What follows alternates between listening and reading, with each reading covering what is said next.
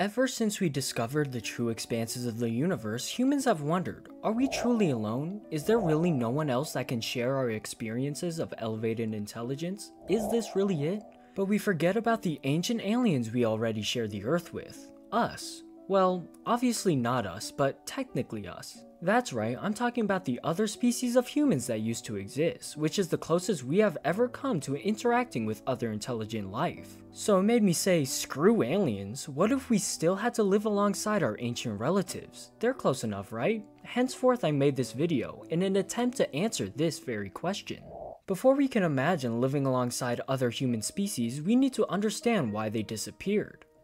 Oh, I found it. See, we've always been the problem. Since Homo sapiens, us, were so successful, we drove all the other species into the ground permanently when we started moving out of Africa about 70,000 years ago. Since every time we reached a new region, we would outcompete the other hominins of that area for resources, whether that be through more advanced hunting techniques, tool use, and social structures. Even though species like Neanderthals were better than us in almost every single way, Homo sapiens were more ambitious, had higher respawn rates, and surprisingly, what probably helped them the most was their smaller size in comparison to the Neanderthals. Since the Neanderthals had to eat way more than us, they were forced to have smaller groups while humans were able to have larger groups while not being at too much of a size disadvantage. Now you may be asking, if this is the case, then why didn't the Floresian outcompete Homo sapiens? And that is because they were literally real-life hobbits, perfectly adapted to fit the Indonesian island of Flores. So once what must have been literal giants showed up to their front lawn 50,000 years ago, they got completely outmatched, which ultimately resulted in our little buddy's extinction.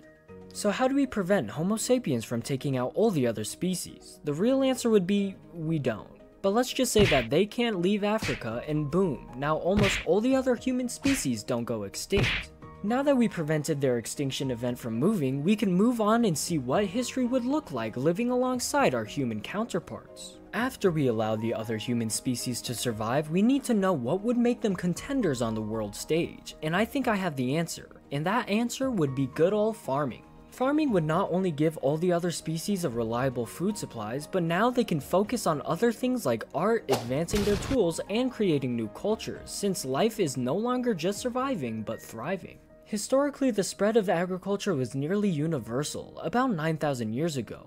Across the globe, civilizations independently learned to domesticate animals, cultivate crops, and even manage forests. Now with his ability, smaller species of humans would be able to increase their size and brain power, while species like Neanderthals would be able to populate more, since they would no longer need to worry about not being able to feed everybody. And this is where I believe a pivotal shift would occur, because now the larger, stronger, and faster versions of the Homo sapien would now be able to support populations comparable to ours. About 3,000 years after the creation of farming, it would be around this time for civilizations to rise and for us to advance our tools. It would be around this time that all other human species would try to expand and take more land for themselves, giving way for the first interspecies wars to take place. Because we all know how humans get when they see people that are different from them. But if races of humans are able to coexist, then why wouldn't species of humans be able to coexist too? After all, there is evidence of other hominin genes being present in most of us, so coexistence is definitely not off the table.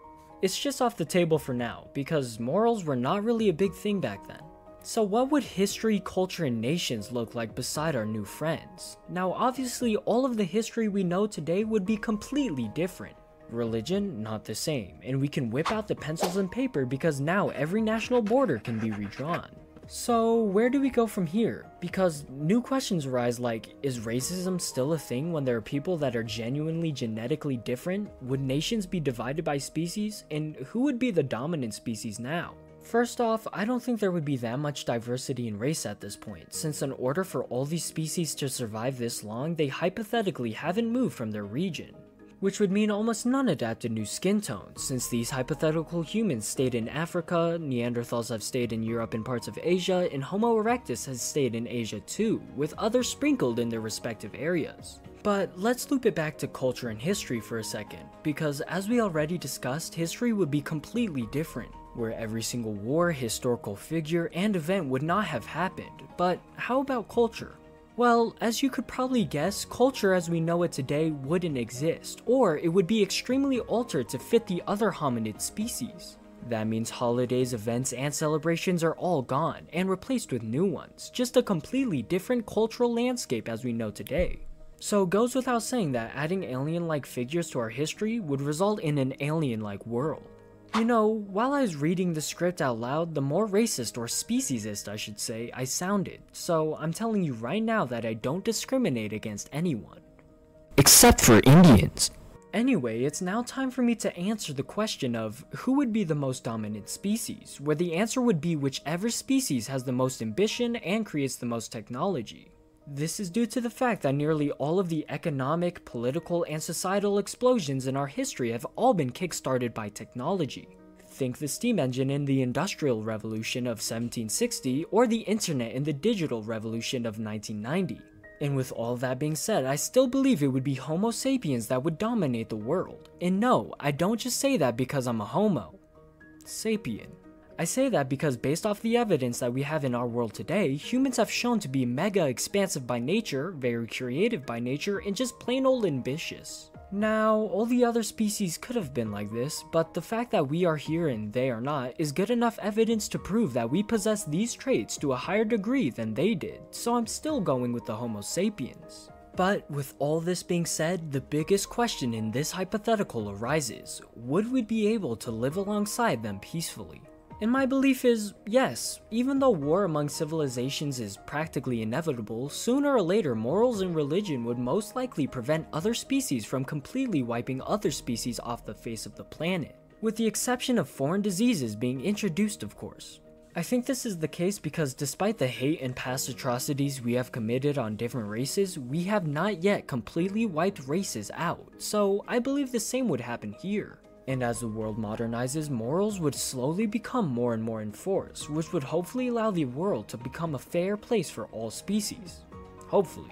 Though speciesism against smaller, weaker, or less advanced species would be just as much as a problem as racism is today, it would most likely slowly dissipate across the world. Where instead of celebrating the first Asian president or first black prime minister, we might celebrate the first Neanderthal president or first Homo erectus prime minister instead where species would slowly start integrating into each other's societies, just like how people from different countries integrate into others, where we would finally be able to live among each other peacefully, or at least learn how to share a bit. After learning all of this, it goes without saying that even if one of the other human species survived today, the world would be a much different place, and probably a more fascinating place.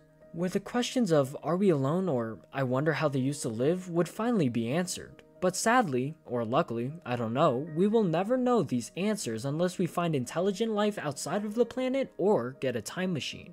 I really like this thought experiment because it allowed me to create a world of my own and see what it would be like to live along near mythological beings. And please tell me if you want me to continue to make more videos like this, because I want to make more thought experiment videos in this format more often. Anyway, I'd like to thank you all for watching, please like and subscribe Poppy, and I will see you in another episode.